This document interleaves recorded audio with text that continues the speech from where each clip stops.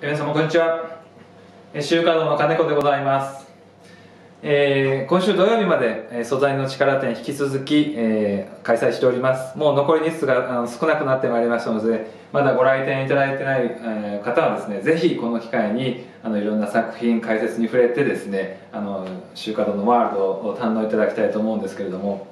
私が今日ご紹介するのはですねあの柿沼弘樹先生の作品についてちょっとご紹介をさせていただきたいと思います。えーまあ、柿沼先生はですねあの私どももアートフェアなんかでも大変お世話になってる先生ですけれどもテンペラの技法でですね、えー描かれておられますであの天ぷらの技法っていうのもですねあの、まあ、卵のそういった白身を混ぜて描く、まあ、独特の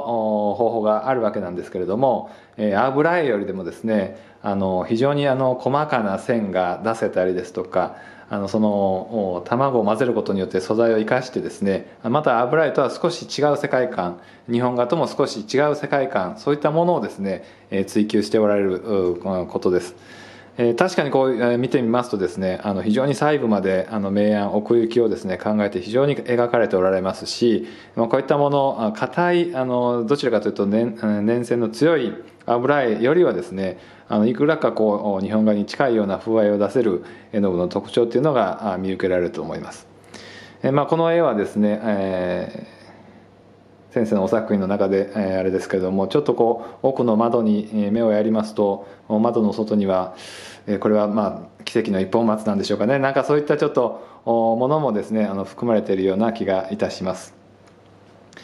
え非常にあのいろんな先生にですねあの解説を聞きましてあの素材の力ぜひ、えーこういったことで書いているというのをですねいい機会ですのでぜひご覧いただきたいと思います。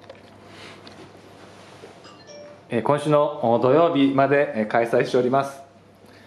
え素材の力店お問い合わせはえー週華堂こちらの電話番号までえご連絡をください。